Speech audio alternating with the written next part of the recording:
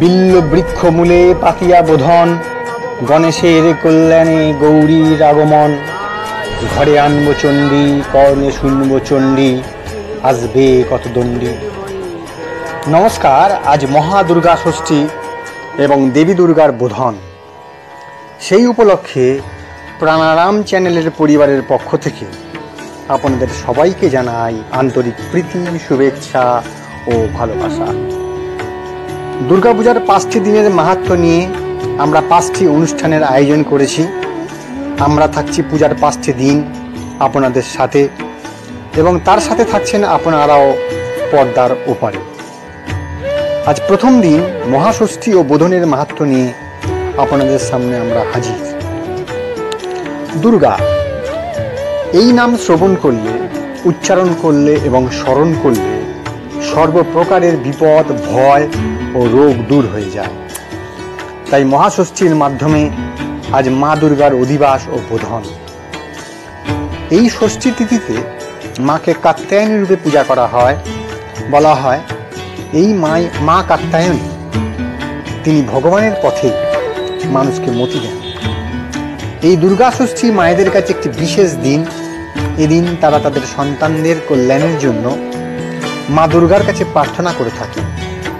দেবী দুর্গাকে যেহেতু মহাবিশ্বের মাতা বলা হয়, তাই দুর্গা ষষ্ঠী মায়েদের জন্য একটি বিশেষ তাৎপর্য বহন করে।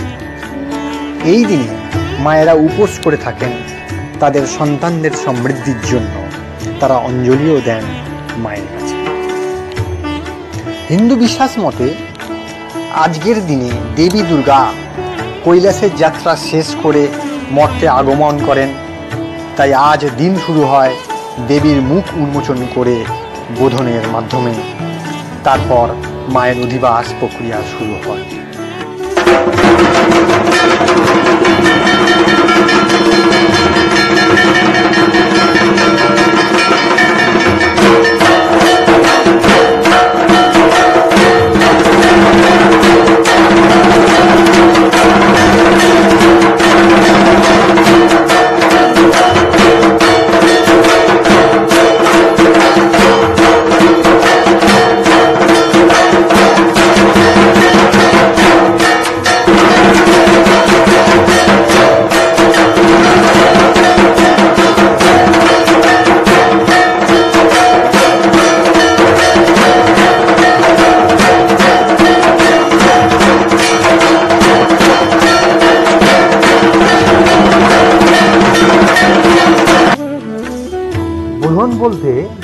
মাকে উদ্বুদ্ধ করা বা মাকে জাগানো বা আমাদের ভেতরে যে আত্মশক্তি আছে, তাকে জাগানো। আমাদের প্রত্যেকের ভেতরে মহিষাসুর রূপ তার সাথে মোকাবিলা করা দুঃসাধ্য। এর জন্য আমাদের জন্ম জন্মান্তর কেটে যায়, তবুও আত্মার মুক্তি সাধন হয় না। বাইরের শত্রুর সাথে মোকাবিলা করা সহজ। কিন্তু ভেতরের এই শত্রুর সাথে মোকাবিলার জন্য, আমাদের মধ্যে সেই আত্মবোধ জাগ্রত করার জন্য এই বোধন। বোধনের অন্তর্নিহিত তাৎপর্য হলো এটাই। আবার যৌগিক মতে, ষষ্ঠী হচ্ছে আমাদের নাভিতে অবস্থিত মণিপুর চক্রে কুলকুণ্ডলিনী শক্তির বোধন। এই মণিপুর চক্রকে ব্রহ্মগ্রন্থি বলা হয় এবং এখানে পরাবাক সরস্বতী রয়েছেন কুণ্ডলিনী শক্তি জাগ্রতা হয়ে যখন এই ব্রহ্মগ্রন্থি ভেদ করে উপরের দিকে গতিলাভ করেন গুরু কৃপায় ও সাধকের সাধনায়, তখন সেই সময়টাই হলো প্রকৃত মুহূর্ত।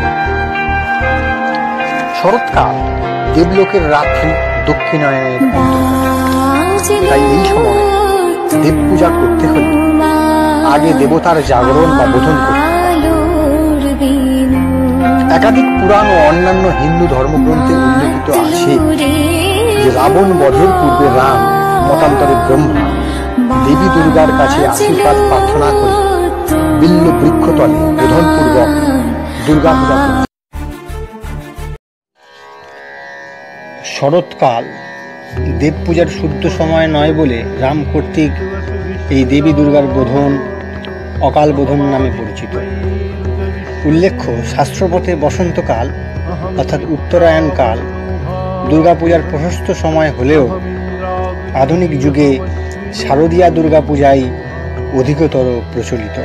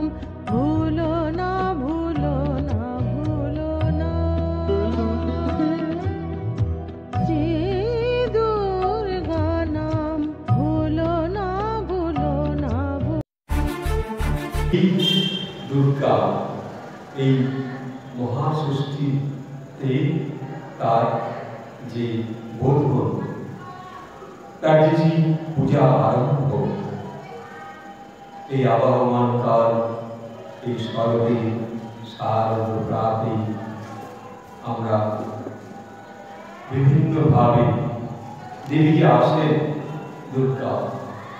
তার যে মহাষষ্ঠী এই ষষ্ঠী তিনিও তো সেই আমাদের সকলের মহা পৃথিবী তিনি তো সেই দেবী তা আমরা যে জন্মগ্রহণ করেছি, সেই কিন্তু মায়ের সেই রূপ থেকেই, মায়ের সেই শক্তি থেকেই, মায়ের সেই কৃপা।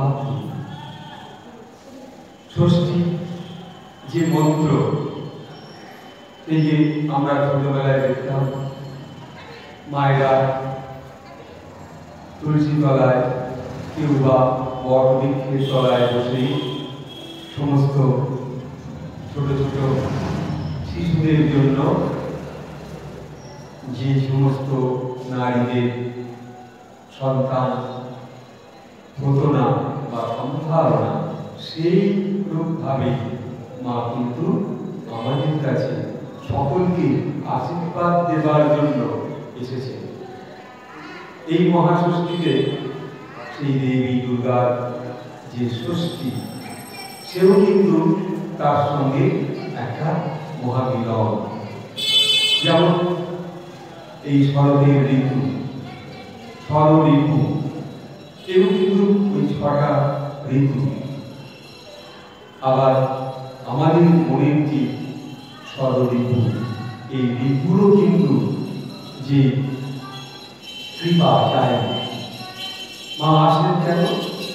মা আসেন তারই কৃপা কারণে তিনি সমগ্র বিশ্বে এই দুর্গা উৎসবে করেন, তিনি আসেন এই মহৎ শক্তি দান করুন আনন্দে সকলে আনন্দে উল্লসিত হন দেবী আসছেন দেবীর আগমনে।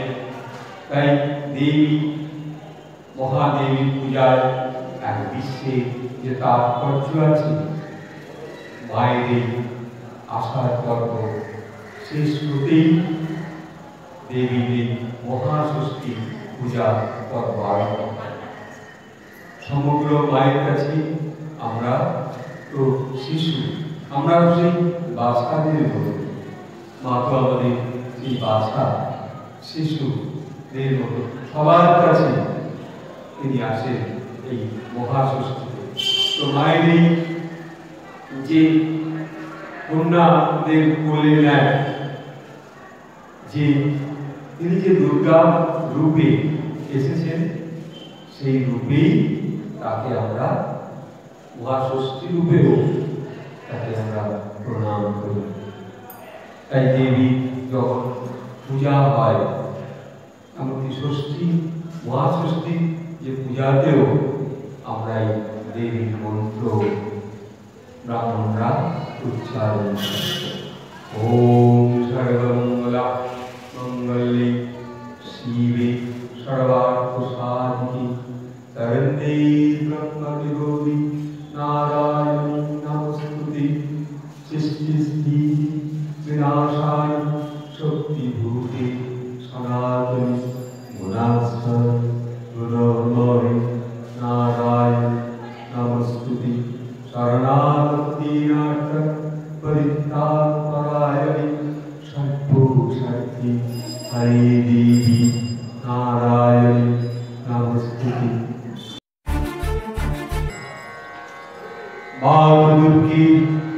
সিংহবাহিনী সর্বশক্তিদায়িনী মানব শিবপ্রিয়ে তোমার সত্যাংশ জাত আমরা বঙ্গ দিয়েছি যুবক তোমার মন্দিরে আসি, প্রার্থনা করিতেছি।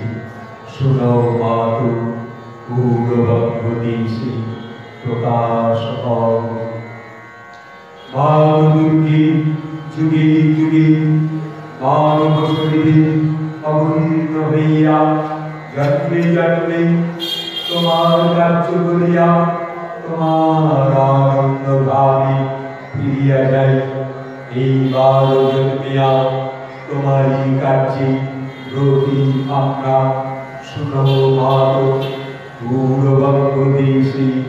সহায়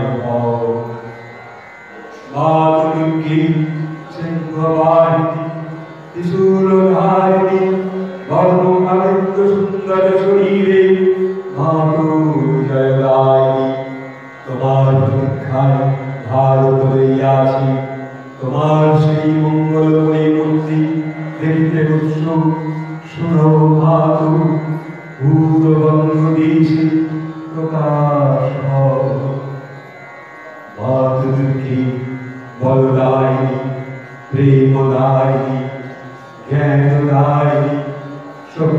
শক্তি স্বরূপিণী ভীমে সৌমরত্ব রূপিণী জীবন সংগ্রামে ভারত সংগ্রামে তোমার বীর যোদ্ধা আমরা দাও মাত তানি মনি অসুরের শক্তি অসুরের উদ্যম দাও মাত হৃদয় বুদ্ধিতে দেবীর চরিত্র দেবীর জ্ঞান শ্রেষ্ঠ ভারত নিবিড় তিমিরে আচ্ছন্ন ছিল। তুমি গগন অল্পে অল্পে ঢাকে পড়েছে কাঠি।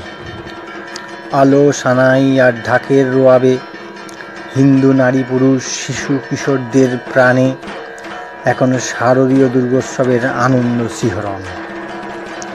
সায়ংকালীন বোধনে আজ খুলে যাবে দেবীর আয়ত চোখের পলক। পশুর বধে চক্র গড়া তীর ধনুক, খড়গ কৃপান ত্রিশূল হাতে দেবী হেসে উঠবেন। ধূপের ধোঁয়ায় আর ঢাক কাসর মন্দির আর নিনাদে পুরোহিতের জলদ কণ্ঠে উচ্চারিত হবে, ইয়া দেবী সর্বভূতেষু মাতৃরূপেণ সংস্থিতা। নমস্তস্যৈ নমস্তস্যৈ। নমস্তস্যৈ নমো নমঃ শরতের সোনালি আলোর নরম ছোঁয়ায়, শিউলি ফুলের সুবাসে জগজ্জননীর শুভ আবির্ভাবের আনন্দ, সবার অন্তরে নির্মল ও পবিত্র আনন্দের রেস নিয়ে আসুক। সবার কল্যাণ হোক, মঙ্গল হোক, এই প্রার্থনা করি মা মহামায়ার কাছে। নমচন্ডী নমচন্ডী নমচন্ডী নমচন্ডী নমচন্ডী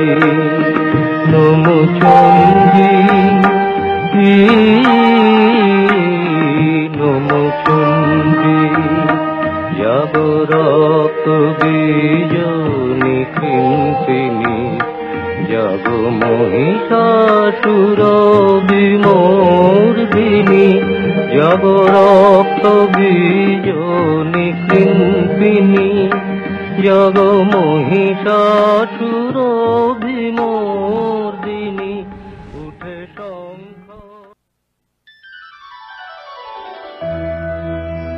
জাগো তুমি যা